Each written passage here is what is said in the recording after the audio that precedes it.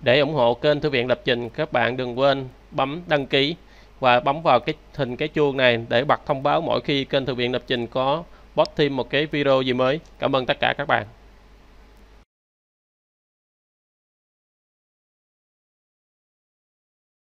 Xin chào tất cả các bạn, chào mừng các bạn quay trở lại với kênh Thư viện Lập Trình trong chủ đề lập trình và thiết kế website từ A tới Z. Các bạn đang được học phần hệ quản trị cơ sở dữ liệu Microsoft SQL Server. Đây là bài học đầu tiên, bài học số 1 về cái hệ quản trị cơ sở dữ liệu quan hệ này. Nội dung bài học này chủ yếu chúng ta sẽ đi qua vài cái ờ, định nghĩa, giới thiệu những cái hướng dẫn cài đặt cái hệ quản trị cơ sở dữ liệu này và sau đó chúng ta sẽ duyệt qua một số cái tính năng chính của nó. Đầu tiên là các bạn sẽ nắm ra bốn nội dung mà chúng ta sẽ được học trong nội dung bài học số 1 ngày hôm nay. Nội dung đầu tiên là chúng ta sẽ giới thiệu sơ một chút về định nghĩa cái hệ quản trị cơ sở dữ liệu quan hệ Microsoft SQL Server. Cái uh, nội dung số 2 là chúng ta sẽ uh, đi duyệt sơ qua một vài cái đặc điểm cơ bản của hệ quản trị cơ sở dữ liệu này và số 1 và số 2 là chúng ta đi vào những cái lý thuyết định nghĩa cơ bản. Mặc dù uh, nó chỉ là những lý thuyết nhưng mà những cái hiểu những cái cơ bản này khá là quan trọng cho nên các bạn chú ý một chút nha. Nội dung số 3 là chúng ta sẽ đi vào cái hướng dẫn các bạn cài đặt cái bản Microsoft SQL Server Express 2008 R2 các bạn chú ý tại sao tôi lại chọn cái phiên bản này trong khi mà hiện tại nó đã có tới cái um, 2017 rồi nha. Tôi, tôi chọn cái phiên bản này là bởi vì uh, là khi các về bản chất là khi các bạn mới học á, thì uh, cái sự khác nhau giữa những cái phiên bản này là các bạn không có nhận thấy được rất nhiều nha. Thì uh, khi mà các bạn làm việc đào sâu vào trong nó thì các bạn mới nhận thấy cái sự khác biệt đó và cái sự khác biệt ở đây nó rất là ít và có một đặc điểm là khi các bạn thiết kế những cái dữ liệu, những cái hệ thống mà trên một cái phiên bản cũ và các bạn đưa vào một cái phiên bản mới để xài thì nó rất là ok. Nhưng mà ngược lại thì lại không được nha.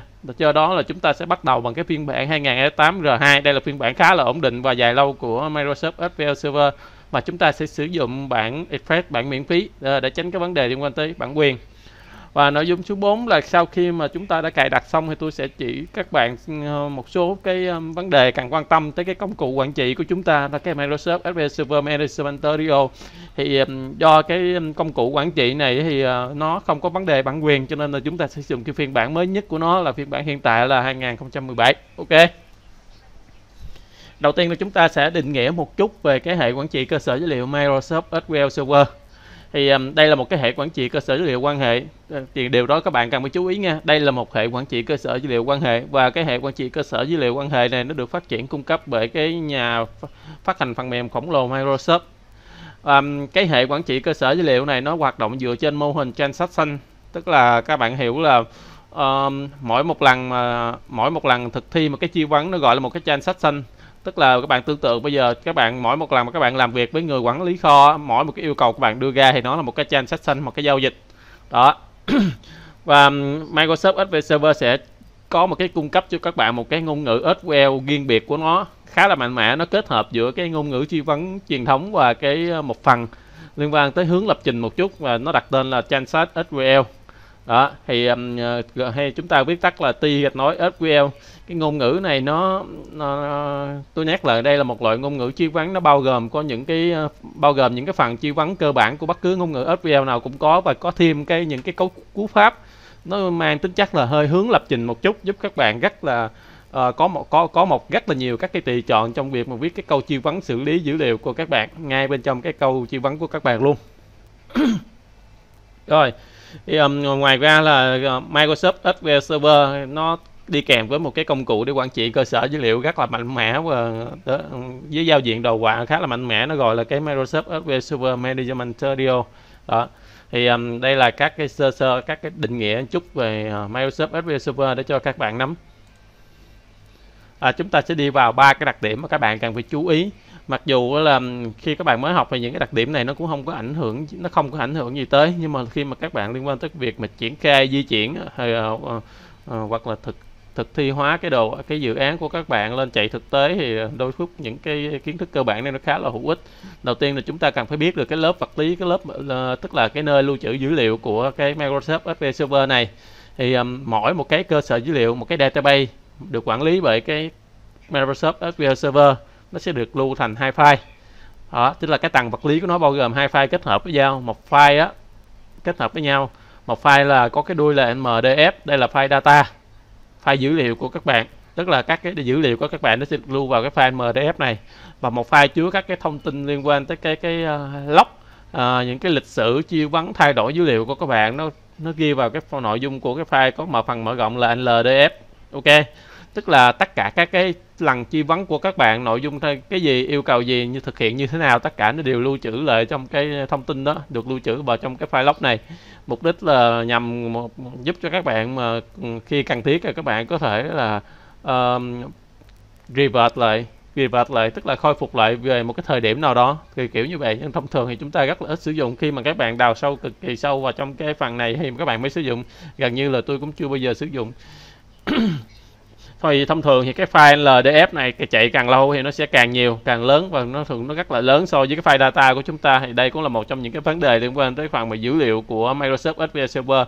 Nó nó tự động nó phình ra càng ngày càng nhiều khá là nhiều. Đó, do cái file LDF này mà ra. Rồi các bạn chú ý là cái database engine của Microsoft SQL Server nó sẽ chạy ở bọt số 443 thì um, nếu mà các bạn mới học các bạn không hiểu cái bọt 443 này có nghĩa là gì thì ok các bạn có thể tạm thời bỏ qua. Đây là một phần liên quan một chút liên quan tới kiến thức về uh, mạng và các phần mềm chạy thông qua mạng. Cả, tôi sẽ nói sơ sơ một chút cho các bạn hiểu cái phần này nha mặc dù nó không phải là một nội dung chính của cái chương trình ờ, ngày hôm nay. Uh, các bạn phải hiểu là cái máy tính của các bạn á để làm việc với một cái hệ thống khác thông qua đường dây mạng thì không phải ừ, không phải tự nhiên mới làm việc được mà là cái cạc mạng của các bạn á nó sẽ có khoảng 65.000 mà như là 65.300 mấy á. Thì các bạn cứ nhớ là khoảng 65.000 cổng dữ liệu khác nhau. 65.000 cái cái bọt khác nhau để mà làm việc với bên ngoài. Thì um, bất bất bất cứ nha bất cứ cái phần mềm nào bất cứ cái phần mềm nào mà có làm việc với dữ liệu bên ngoài thì nó buộc phải sử dụng một cái cổng. À, cái số cổng là từ 1 cho tới khoảng 65 ngàn mấy trăm á. Đó. Và một phần tại cùng một thời điểm một phần mềm chỉ chiếm một cổng mà thôi. Và có một số cái cổng đặc biệt số một số cái cổng đặc biệt được sử dụng cho một số cái hình thức đặc biệt. Ví dụ như là cổng 443 nó được sử dụng cho Microsoft SQL Server. Là có nghĩa là cái uh, database engine của Microsoft SQL Server mày nó chạy nó sẽ chiếm lấy cổng 443 để mà giao tiếp với bên ngoài.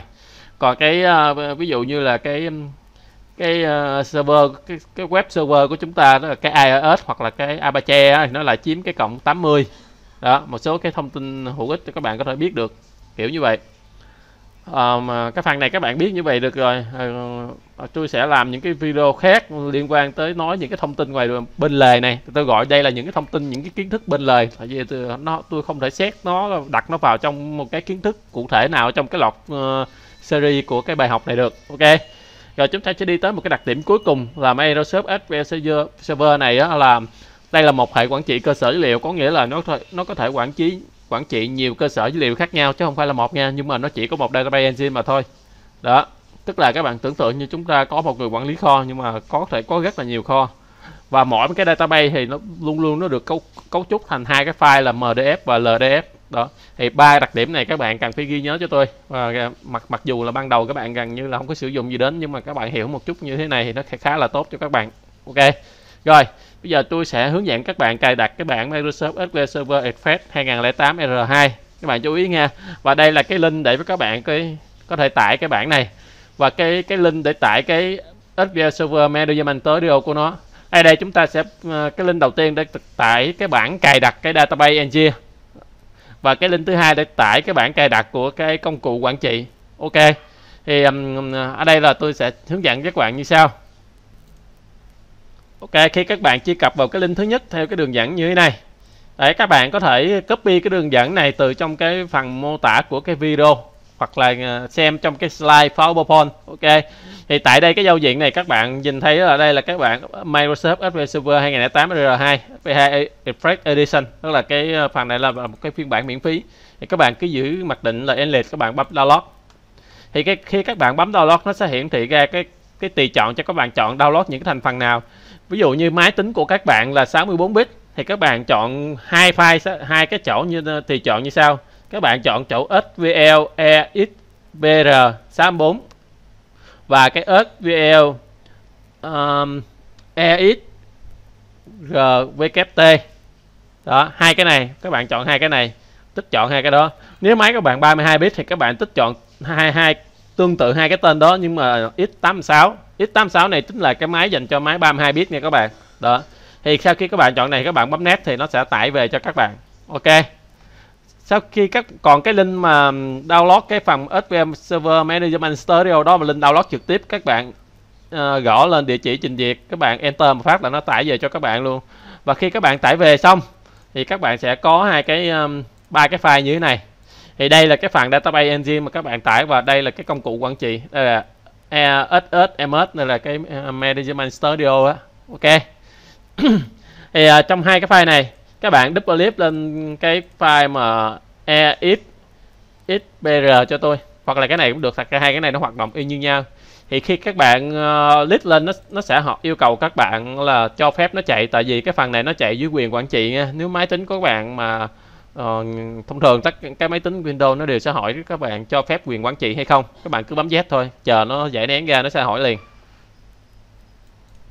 Ok, sau khi nó chạy giải nén xong nó hỏi các bạn các bạn trả lời yes một phát nó sẽ hiện ra cái cái phần này. Các bạn chú ý là cái phần mà nó hỏi yes no đó là nó thuộc về cái hệ ờ, thống quản trị cao cấp cho nên là cái phần phần phần mềm quay phim của tôi nó không có quyền xem cái đoạn đó thành ra nó bị bỏ qua. Rồi, thì tại cái giao diện này các bạn tích chọn chỗ intonation này ở đây đây, các bạn bấm vào cái chỗ mà cái hàng đầu tiên nè, new installation or adventure to exit installation ok. Rồi. Chờ một. Đây. Thì à, khi các bạn click vào trong đây, nó sẽ duyệt chạy duyệt qua, nó kiểm tra máy tính của các bạn. Thì à, cái quá trình kiểm tra đó có thể sẽ bắt lại thất bại nha, và nó sẽ hiện lên cái chỗ thất bại thông thường. Là, nếu dụ như là máy tính của các bạn đang yêu cầu được restart để cập nhật cái gì đó thì uh, cái quá trình kiểm tra nó sẽ thất bại và nó bảo các bạn restart máy. Thì các bạn cứ việc restart máy lại. À, xin lỗi các bạn dòng tôi nó hơi bị khàn khàn tí. Thì các bạn cứ việc restart máy lại rồi sau đó cứ chạy lại ừ, các bước à, cho tới khi nó hiện ra giống như của tôi. Thì tại cái điểm chỗ này các bạn cứ bấm accept the license thôi. Ok rồi bấm next.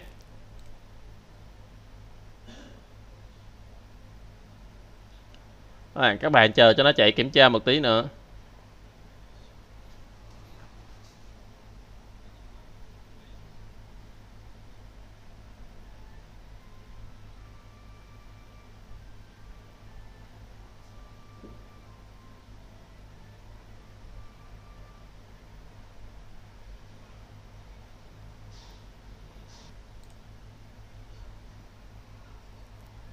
Rồi ok.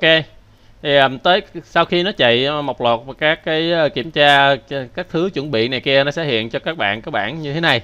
Thì đây nó cho các bạn tích chọn các cái tính năng. Thì chúng ta chỉ tải về hai tính năng mà tương ứng tải về hai file và tương ứng các cái tính năng này thôi. Các bạn cứ tích chọn hết cho tôi. Uh, select on hoặc là tích vô đây. Thì cái database engine service này nó tương ứng với cái database engine của các bạn. Rồi ok ở đây các bạn có thể thay đổi cái đường dẫn lưu trữ cái ờ, các cái file của các bạn nha. Hoặc là các bạn cứ để mặc định. Ở đây tôi sẽ sửa lại một chút là tôi muốn nó lưu trữ sang cái ổ D của tôi nha. Đó hoặc các bạn cứ để mặc định nếu mà không cần thiết. Các bạn chọn next.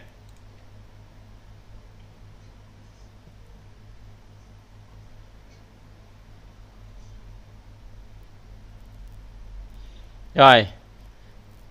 Tới phần này thì um, có các bước như sau thì cái phần mà name it intent ờ, này ở đây là đây là tên cái database engine của chúng ta.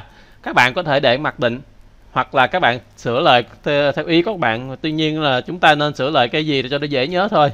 Ví dụ như là chúng ta để là ms SQL e. Bx chẳng hạn có nghĩa là chữ effect đó à, exb mới đúng. Đó. E, ms SQL exb ví dụ như là 2008 hai, bạn chú ý là sửa tên cho nó dễ nhớ nha bởi vì chúng ta sử dụng cái tên này để kết nối tới cái database này. Đó đây là MSSQL Express 2008 R2 ok. Rồi ở đây các bạn có thể chọn chỗ để lưu trữ cái ờ, phần data liên quan tới cái uh, em uh, cái, cái database này của các bạn. Tôi sẽ sửa lại luôn là OD các bạn có thể để giữ nguyên cũng được không tranh sao cả. Rồi các bạn next.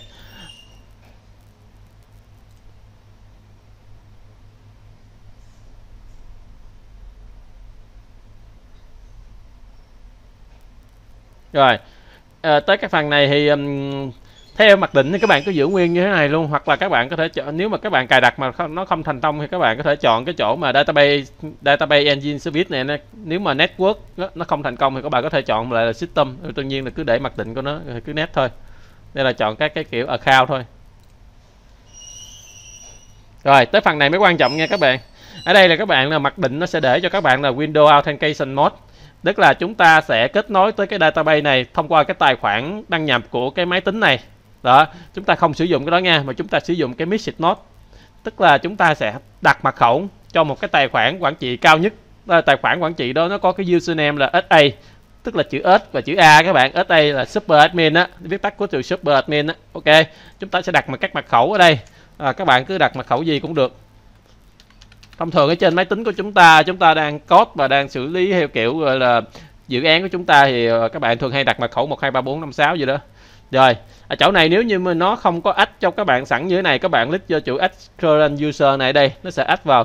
Có nghĩa là chúng ta vừa đăng nhập được thông qua cái hình thức authentication bằng Windows, tài khoản Windows mà cũng sử dụng được luôn cái tài khoản SA ok, rồi chúng ta bấm next. Rồi chỗ này các bạn ờ, không cần làm gì hết, cứ bạn bấm nét thôi. Rồi, như vậy là cái quá trình cài đặt này nó sẽ diễn ra ờ, tương đối khá là lâu nghe khoảng 5-10 phút gì đó thì ờ, các bạn chịu khó chờ 5-10 phút rồi chờ xong mà 50 phút thì tôi sẽ hướng dẫn tiếp. Ở đây tôi sẽ tạm dừng video cho tới khi nó tài, nó cài đặt xong rồi tôi sẽ cho chạy tiếp.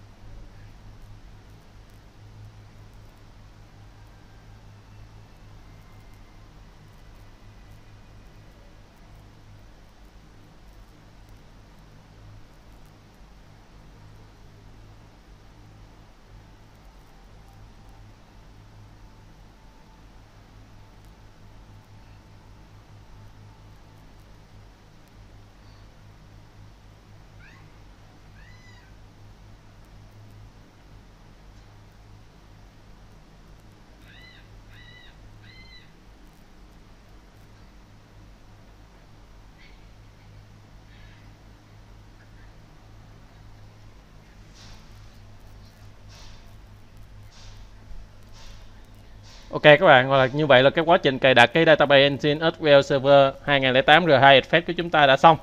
À, các bạn cứ tắt cái uh, bảo trợ này đi.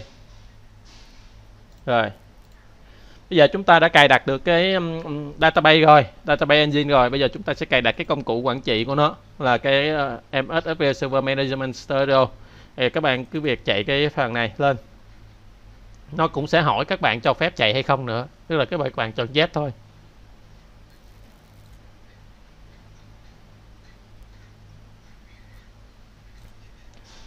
Rồi, ok, chúng ta click Inton.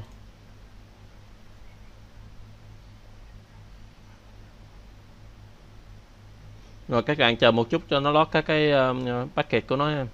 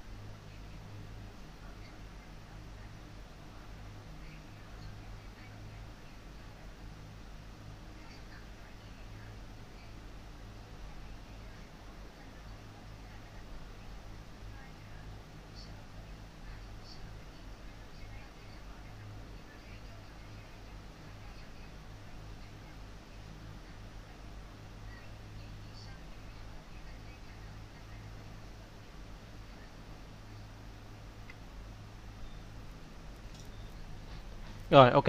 Như vậy là cái quá trình cài đặt cái Microsoft SQL Server Management, Management Studio đã xong. Anh tắt hoàn này đi. Như vậy là lúc này nếu mà các bạn um, vào cái uh, menu task của các bạn á các bạn cho nên nhìn thấy ở đây. Chọn uh, Microsoft SQL Server 8R2 đây. Đây. Các bạn cho thấy là chúng ta uh, đã cài xong cái um, SQL Server 2008 R2 Database Engine. Và ở đây nó sẽ chứa cái um, management của chúng ta. À, để tôi coi uh, SQL Server Tool 2017 đây. Đây Microsoft SQL Server Management Studio. Ok các bạn sẽ pin pin cái này lên trên cái start bar. Đây. Đó, hoặc là các bạn chỉ đưa nó ra ngoài desktop đó. để mở lên. Ok. Giờ tôi sẽ mở nó lên.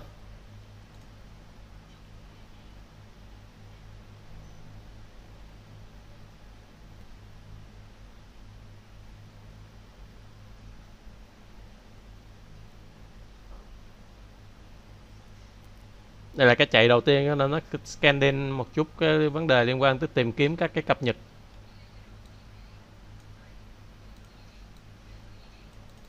ok và đây là cái giao diện của nó. Giao diện của nó nó sẽ có thêm cái đăng nhập này. Và đây là nó yêu cầu chúng ta cung cấp cái uh, thông tin để để gọi là đăng nhập vào cái database engine của chúng ta kết nối vào cái database của chúng ta. Thì lúc nãy là chúng ta đặt cái tên của chúng ta là mssvl exb 2008 r2 ok và cái tên này nó phải kèm theo cái thông tin là cái um, chấm sạc phía trước như thế này thể hiện rằng cái trên cái máy tính nội bộ này ok? Tài khoản là SA mật khẩu là mật khẩu mà chúng ta nhập cái chế độ message mode lúc nãy. Rồi chúng ta sẽ thử nha. Rồi ok như vậy là chúng ta kết nối thành công tới tới cái database của chúng ta. Và uh, tôi sẽ giới thiệu với các bạn một số cái uh, thứ ở trên cái giao diện này nha. Ok, chúng ta đã đi xong cái phần cài đặt bao gồm có cài đặt cái database engine cho cái bản uh, uh, Microsoft SQL Server Medi um, Effect 2008 R2 và cái Microsoft SQL Server Management Studio 2017. Bây giờ tôi sẽ hướng dẫn các bạn cái cách một số thứ thao tác ở trên cái công cụ Management Studio. Thì các bạn vừa được hướng dẫn cái thao tác đăng nhập vào cái database của các bạn kết nối vào cái database mà các bạn vừa cái database engine mà các bạn vừa tạo ra. Dĩ nhiên là chúng ta chưa có database gì hết. Và đây trên cái giao diện mặc định thì các bạn sẽ nhìn thấy như sau. Ở phần cái khung này cái object explorer là cái nơi mà các bạn có thể xem có uh, các cái kết nối tới những cái database engine khác nhau. Các bạn chú ý là cái Medium Studio này nó có thể kết nối tới nhiều cái database engine khác nhau chứ không chỉ một nghĩa là ở đây các bạn có thể ở đây là tương ứng với cái chỗ này nè là tương ứng với một cái database engine mà chúng ta vừa cài đặt lúc nãy nó có tên là MSSQL Server EXP 2008 R2 đây là cái tên của chúng ta. Nếu các bạn có thể tạo một kết nối khác đó tạo cái một kết nối khác tới chỗ khác nó sẽ thêm một cái node nữa hay cái phần này. Đây mỗi một nhánh như thế này là một cái database engine đó một hệ một cái hệ quản trị cơ sở dữ liệu quan hệ có thể nói chính xác là như vậy. Thì um, ở trong mỗi cái database engine này ở đây á, thì các bạn sẽ có những cái tab như sau. Các bạn chú ý vào cái cái thư mục database này ở đây. Thì trong cái database này nó sẽ chứa tất cả các cái database mà các bạn tạo ra. Ở đây chúng ta chưa tạo ra gì hết. Ok. Thì cái tab security ở đây, thì cái phần login nó sẽ chứa tất cái tài khoản liên quan tới việc đăng nhập vào các cái database của chúng ta. Từ từ tôi sẽ nói sau nha các bạn. Tôi sẽ giới thiệu sơ qua thôi. Đó. Thì ờ, trước tiên thì các bạn chỉ nên quan tâm tới hai cái đó thôi. Thì những cái phần khác có thể tạm thời bỏ qua rồi thì giả dụ như các bạn lỡ tắt cái object explorer này thì các bạn mở lên như thế nào? Hoặc là lỡ tất cả các thứ đó nó đều nằm ở trong cái phần mà ờ, uh, tool nè. Các bạn nhìn thấy tool các bạn tìm kiếm cái chỗ là uh, cái phần view chứ lộn. Sorry các bạn nha phần phần view. Đây đây chứa các cái cái cửa sổ thông tin. Ví dụ như các bạn có thể chọn object explorer nó sẽ hiện ra. Đó. rồi các bạn nó còn nhiều thứ khác nữa các bạn nhưng mà cơ bản là các bạn cần cần cái này. Đó. Rồi. Thì à, để mà thao tác tạo một cái database bằng cái công cụ này như thế nào tôi sẽ hướng dẫn các bạn. Ờ, à, trong những cái bài học sau tôi sẽ tôi sẽ chủ yếu dạy cái ngôn ngữ TSQL và trong TSQL có cái câu lệnh để tạo database luôn. Tuy nhiên để tạo để nhanh một cái database bằng cái thông qua cái công cụ này thì chúng ta có như sau. Các bạn click chuột phải lên cho cái chỗ thư mục database này đây. Đó các bạn chọn new database.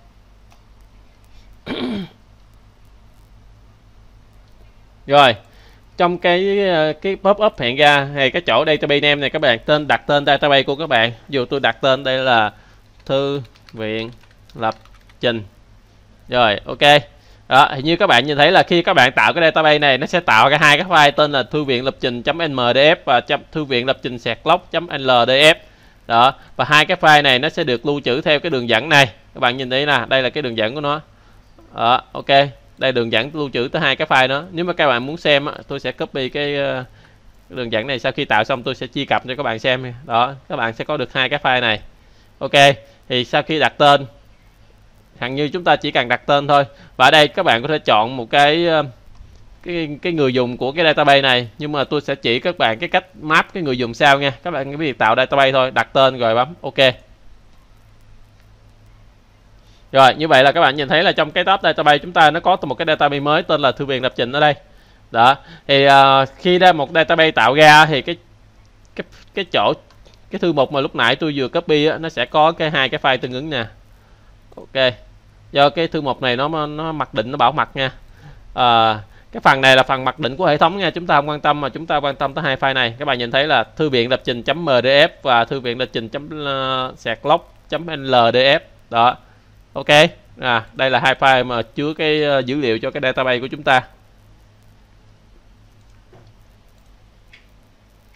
Rồi. Sau khi tạo database xong, các bạn sẽ muốn tạo một cái user liên quan tới database này. Và dĩ nhiên cái user SA tức là cái user mà các bạn đang đăng nhập để mà ừ, thao tác trên công cụ này nào mới làm được việc này các bạn, mới có thể tạo database và tạo như người dùng khác. Đó là user super admin, user cao nhất, user làm mọi thứ ok cho nên là các bạn có thể tạo nhiều database mỗi database nó có đa user khác nhau cung cấp cho nhiều người khác nhau. Và mọi khi người ta đăng nhập vào người ta chỉ có thể tạo tác được trên database của của người ta thôi. Còn nếu mà các bạn cung cấp user ở đây thì nó sẽ làm được mọi thứ nha kể cả nó xóa luôn database khác. Ok bây giờ tôi sẽ chỉ cách để các bạn có thể tạo một cái data một cái người dùng tương ứng với cái cái database này. Các bạn vào tab security uh, các bạn tab login. Rồi các bạn click chuột phải lên tab login này các bạn chọn new login rồi bằng login em này tôi đặt tên là tvlt tức là thư viện lập trình.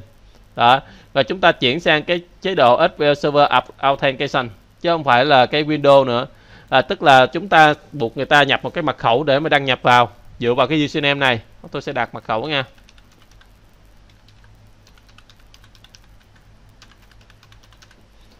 Rồi ở trong cái tùy chọn này nó sẽ buộc cái mật khẩu này nó phải tuân thủ cái quy định liên quan tới bảo ờ, bảo bảo mật và, và an toàn. Tức là nó buộc người ta phải sử dụng chữ cái với khoa với thường bla bla bla nhiều thứ gì đó.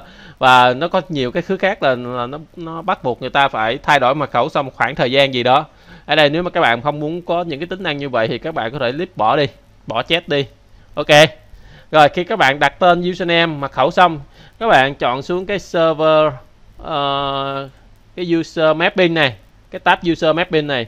Đó, các bạn nhìn thấy là trong đây nó liệt kê các cái database ra, các bạn click chọn vào cái database thư viện lập trình. Có nghĩa là chúng ta tạo ra cái user này, map vào cái database thư viện lập trình này, và chúng ta tích ở bên dưới này nè, là db owner, tức là chủ của cái database này. Ok, rồi. Ok, chỉ bao nhiêu thôi, tức là trên cái tab general này á, thì các bạn chỉ việc đặt tên cái người đăng nhập, cái mật khẩu của đăng nhập, và có một số tùy chọn liên quan tới cái bảo mật và sau đó cái chọn cái chỗ user mapping á, thì các bạn phía trên này là list lên cái database mà các bạn muốn map người dùng này vào cái database đó. Và ở dưới đây các bạn list vào cái chỗ db owner. Rồi các bạn ok. Đó. Như vậy là chúng ta đã tạo ra một cái database tên là thư viện lập trình và có cái người dùng là tvlt map vào trong đây. Bây giờ nếu mà chúng ta ngắt cái kết nối này đi các bạn có thể ngắt kết nối bằng cách click phải chọn disconnect hoặc là ngắt cái, cái list lên chứ cái biểu tượng disconnect ở trên đây. Ok. Đó. Bây giờ chúng ta mở lên. Chúng ta muốn kết nối vào một cái data cái database uh, uh, engine nhưng mà chỉ focus vào cái database là thư viện lập trình bằng cái user tvlt mà thôi thì như thế nào? Các bạn cứ bấm vào connect tới đây database engine. Rồi. Cái đường dẫn tới cái database engine thì nó vẫn giữ như vậy nhưng mà user lúc này chúng ta đặt là tvlt. Và mật khẩu ok nếu các bạn bấm vào tùy chọn này thì lần sau các bạn list cái username này nó sẽ tự động nó điền mật khẩu vào luôn. Đó như các bạn thấy là nó đăng nhập vào ok. Nhưng nhưng mà lúc này cái tài khoản này nó nó không có được quyền tạo database nữa. Nếu các bạn bấm, bấm tạo nó sẽ đấy nó sẽ cấm các bạn. Đây là cái user của các bạn chỉ được quyền thao tác với cái database thư viện lập trình mà thôi chứ các bạn không có được thao tác tới ờ, những cái thứ khác nữa. Đó ok. Như vậy là các bạn đã được cái um, cách mà các bạn uh, uh, định nghĩa một chút uh, về cái database MS ờ, SQL Server. Và các bạn được dạy cái cách mà tải và cài đặt các cái thành phần cần thiết. Sau đó các bạn đã được cách để kết nối vào cái database engine thông qua cái công cụ là Management Studio và cái cách tạo database và thông qua công cụ đó tạo người dùng thông qua cái công cụ đó để map vào cái database như thế nào. Thì uh, nội dung bài học ngày hôm nay chỉ có bấy nhiêu đấy thôi. Thì trong cái nội dung bài học tiếp theo các bạn sẽ được học tiếp cận tới một cái thứ gọi là TSQL đây là ngôn ngữ chi vấn chính của cái uh, uh, Microsoft SQL Server. Và chúng ta tiếp cận tới cái ngôn ngữ này và sau đó các bạn sẽ được học kỹ về các kiểu dữ liệu sử dụng ở trong cái việc lưu trữ database của chúng ta, rồi sau đó chúng ta sẽ đi học các cái thông, các cái thứ liên quan tới việc các cái câu lệnh tạo cái này, tạo cái kia, vân vân. Thì mục đích chính của cái phần mà, cái phần mà bài học liên quan tới hệ quản trị cơ sở dữ liệu quan hệ Microsoft SQL Server này thì cái mục đích chính quan trọng nhất là các bạn phải thấm nhuần cái ngôn ngữ chuyên vấn TSQL 90% 8 90% là ờ, các kiến thức của các bạn focus vào cái chỗ này. Phần còn lại là các bạn đã được học trong cái phần nhập môn cơ sở dữ liệu rồi. Ok à, nếu có câu hỏi gì các bạn có thể đặt câu hỏi phần comment của cái video này. Và dĩ nhiên tôi nói rồi là cái link tải này kia rồi các kiểu là tôi có để trong mô tả của video các bạn có thể click phần mô tả ra để mà xem và nó tải về. Cho nên là à, không có thắc mắc nữa ha. Và dĩ nhiên trong đó nó có link tải luôn cái like Fireball này nếu mà các bạn cần thiết. Cảm ơn tất cả các bạn. Và nhớ like video share cái video này. Nếu mà các bạn chưa có đăng ký theo dõi kênh thì bấm đăng ký theo dõi kênh và nhớ bấm cái chuông kế bên cái nút đăng ký để mà uh, nhận được thông báo mới mỗi khi mà tôi có up cái video gì mới trên cái kênh thư viện lập trình. Một lần nữa cảm ơn tất cả các bạn và chúc các bạn uh, có những cái kiến thức mới hữu ích.